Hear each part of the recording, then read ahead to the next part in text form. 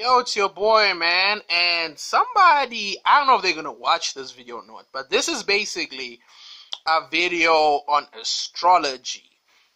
And the name of this video is going to be called, um, what do you call it? It's going to be called Sympathetic Magic.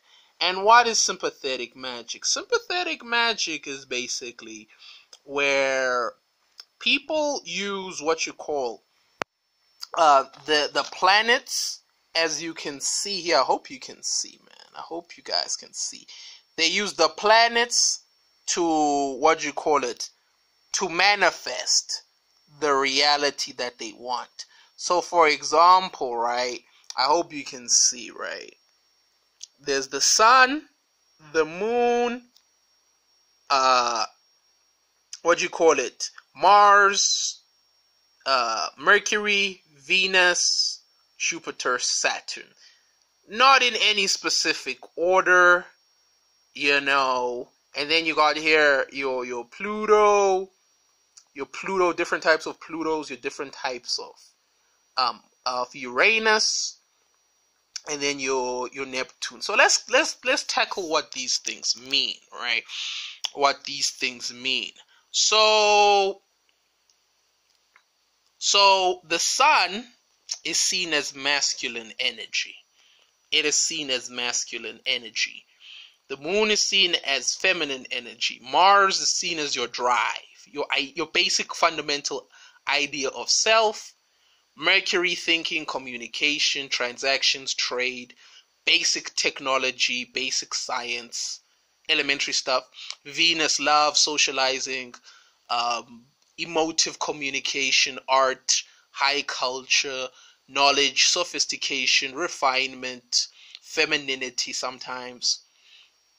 Jupiter, wisdom, knowledge, expansion, big business travel, long distance travel, um, those types of things, re- religion slash spirituality. Saturn, restriction, knowledge, maturity, karma, time, balance, in the sense of, of, of, of materialism and spirituality.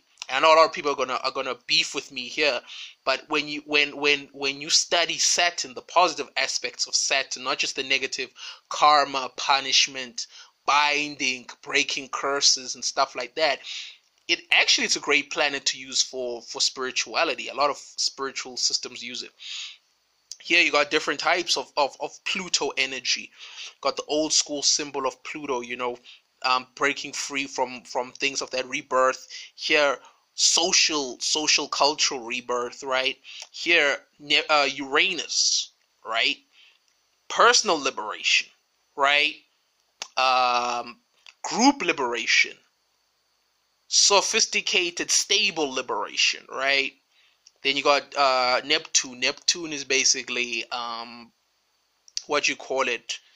It is uh, spiritual transcendence psychology the subconscious mind entertainment, con artists, illusions, delusions, spirituality, the occult, things of that nature, right?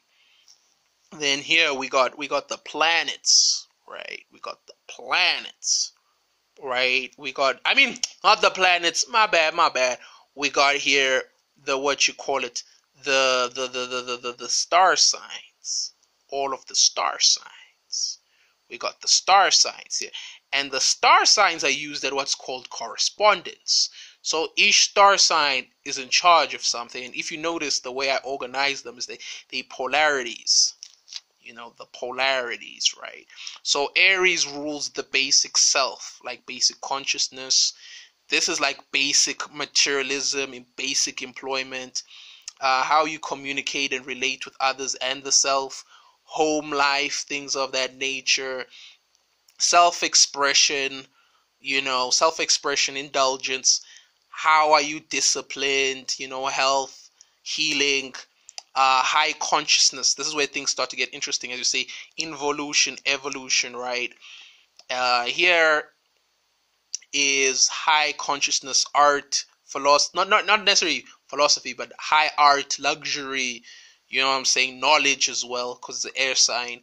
Transformation, uh, doing the dirty stuff that needs to be done to get the results. also money and power and sex, but it also has other positive things. Then Jupiter, knowledge, wisdom, expansion, things of that nature. Saturn, building, structures, order, um, success, professional success, stability, things of that nature. Individuality, group love. Um, what else? Innovation, technology, here, spirituality, illusions, delusions, creativity transcending reality, addiction sometimes. So so the person asked, right, because the question was like, why do they love using Geminis? Let's go back here, Geminis. They love using Geminis in the mainstream media, right? They do what's called sympathetic magic, right? All the days of the week are actually based off this. If you notice, Sunday, Monday, Tuesday, Wednesday, uh, Thursday, uh, Friday, Saturday. Okay. They're actually uh, not Roman, what's it? Norse gods. The days of the week are named after these planets. So what they do is that they do sympathetic magic. So on a Monday, they might do moon things. So the what did we say? The moon rules femininity, the subconscious mind, empathy, kindness, the home, because that's the moon is correlated to Cancer. Right? So the reason they use Gemini is because Gemini is Hermes, Mercury, right? Mercury is about being shifty, clever, smart, you know, deceiving people, you know, sometimes deceiving people, right? That's why they love the Gemini, the Kanye Wests and the people like that.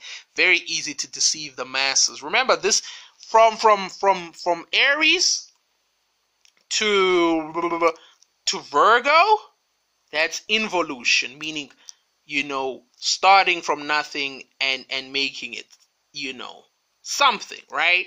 But when we get here from Libra to like uh Pisces, is all about evolution. Once you've built this foundation that's strong, then what? Then what comes next? You feel me? So that's basically what this stuff is about. You know what I'm saying? That's basically that's what this stuff is about. Uh I hope you know you guys can properly see this type of thing. You know what I'm saying? I hope you can see it properly. But yeah, man, that is the main reason. If you want me to break it down even more, then I can in how to use these energies for yourself and things of that nature. So basically, yeah, that's what it is, guys. That's what it is really like analyze these symbols because these symbols are metaphors for the subconscious mind and the conscious mind and things of that nature. So yeah, I check you guys on the flip side. I'm out, motherfuckers.